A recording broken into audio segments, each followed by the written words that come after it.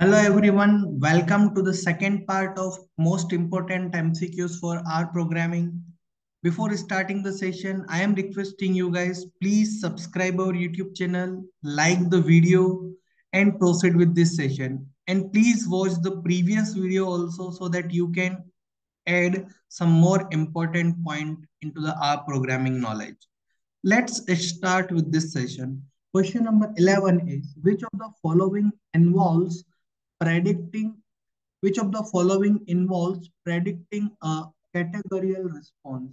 So basically for predicting a categorical response, option A classification, clustering, regression or summarization. So basically classification techniques are used for predicting categorical response. Very easy question it is. Option A is the correct answer. Question number 12 is point out the wrong statement. Okay. Option A, the grammar of the language determines whether an expression is complete or not. It is true statement because definitely with the help of grammar, we can recognize whether any expression statement is uh, completed or not. So it is a true, it is not wrong. We need to figure out wrong, right? That is false. Okay. Second, B, the uh, less than symbol and dash symbol, right? is used for assignment operator in R definitely. We have already discussed in the previous session that this symbol basically represent assignment operator in R. So it is also true. Option C, double hash, character indicates a comment. No, it is false. Why it is false? Because we only use single hash and multiple multi-line comments are not used in R programming, right? So it is false. Option C is wrong. And option D, R does not support multi-line comments. Yes, R doesn't support multi-line comments or comment blocks. That is why option C seems to be incorrect. We need to figure out wrong. Thus, option C is the correct answer here. Question number 13.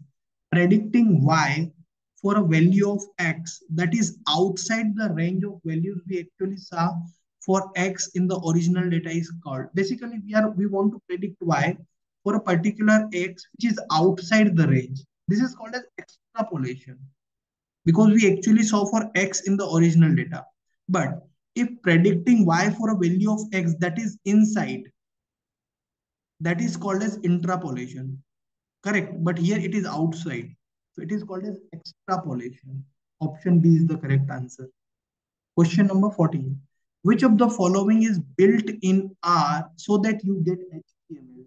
Which of the following in R so that you can get HTML? Okay basically vignettes vignettes is the thing with the help of which you can convert the r into html right? So c is the correct one.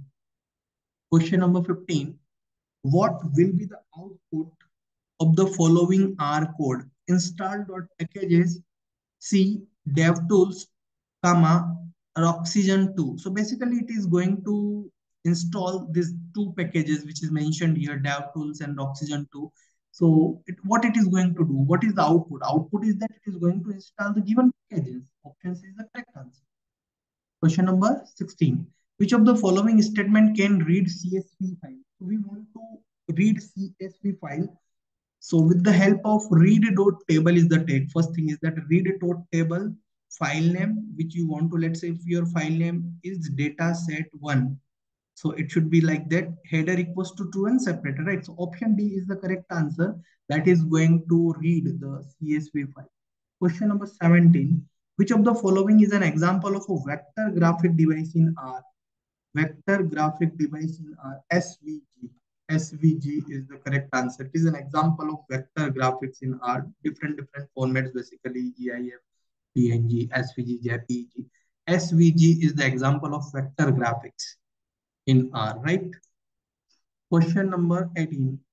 Okay, what function computes the time in second need to execute an expression? System dot time. System dot time. It is a function that is going to calculate the time in seconds to execute an expression. So option C is the correct answer. Question number 19 files containing R script ends with an extension, obviously dot .r. Dot .r determines that file is written in R script. Option B is the correct answer. And question number 20. Collection of objects currently stored in R is called as. So collection of all objects that is stored in R is called as workspace. option C is the correct answer. So guys, I hope all the 20 questions which we have discussed in the R programming most important MCQs are very much clear to all of you. If anybody have doubt, very confusion, please feel free to ask and do subscribe our YouTube channel for more such important and useful videos. Thank you so much guys. Have a very nice day. Jai Hind, Jai Bharat.